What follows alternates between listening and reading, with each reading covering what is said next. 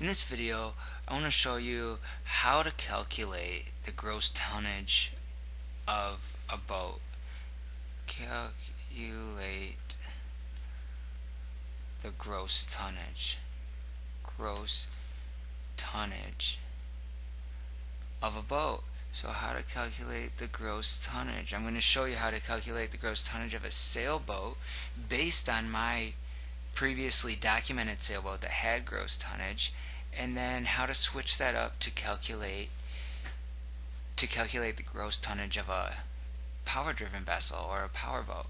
So for a sailboat sailboat example what we do is we take gross tonnage equals length times width times depth times 0.57 all of this divided by 100 now let's take a closer look at length width and depth so the length what is what constitutes the length of a vessel the length of the vessel equals from the bow right? This is the length of the vessel. It does not include bowsprits or engine or um what do you call it? An engine mount.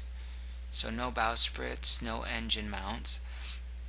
This is the length. The width of this vessel down here, the width equals if this is the vessel again, you go from the widest part. This vessel gets a little skinnier in the stern, so we go from the widest part of that vessel. Right? This is the width of that vessel.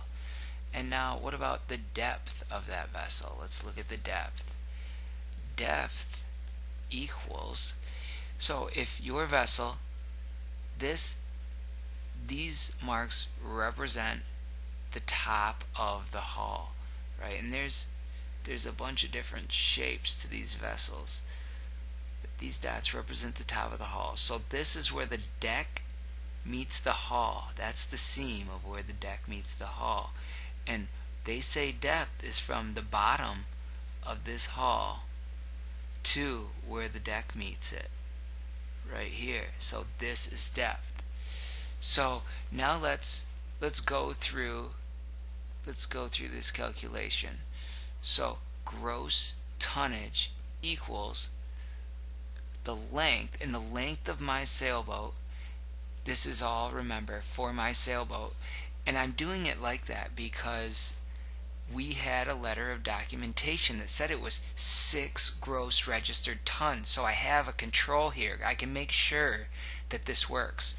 So gross tonnage is length 26 feet times the width, which is 8 feet on my sailboat, times the depth, which is 5 feet, times this 0.57.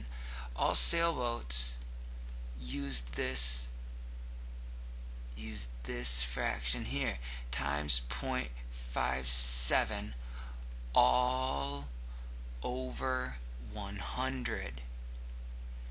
Okay, so let's do this calculation. So what does this gross tonnage equal? It equals, let's get the calculator out. Oops, there's the answer. You can't see that yet. Okay, so it equals 26 times 8 times 5 times point five seven will equal that divide it by 100 and it says it equals 5.928 it's equal to 5.928 and on my certificate it said the certificate said that it was six gross registered tons right so when we compare these two, this 5.928 and this 6, we know that they are very close. Check.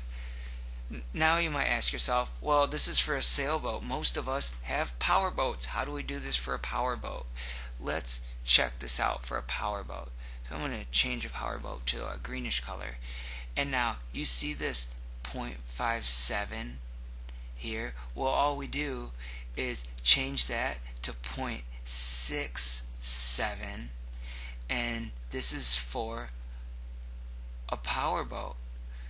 So if your power boat had the same dimensions as this boat, we just do it the same way. You go length times width times depth times 0.67 for a power boat divided by 100 and you get gross tonnage. And this is this is just a fast way to calculate gross tonnage and it generally works on vessels up to 75 feet. And it definitely works when you are dealing with small vessel sea service forms. Right? So if you are getting your captain's license and you have to document your time, this formula works for small vessel sea service form calculations.